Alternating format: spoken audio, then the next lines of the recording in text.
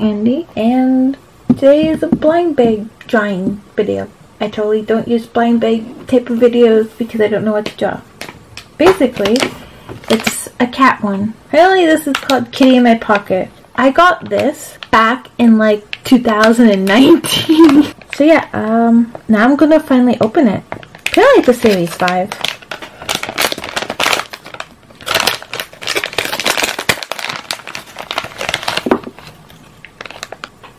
Oh, that's that's weird. It feels like furry, but it's so cute. Feel it has like a slight furry texture to it. Okay, so this cat apparently has a name. It's called Ebony Black and White Tabby, but this is gray, not black. This is like a dark gray, and it's called Black and White.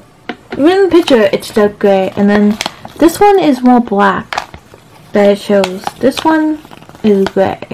So I'm apparently gonna draw this cat.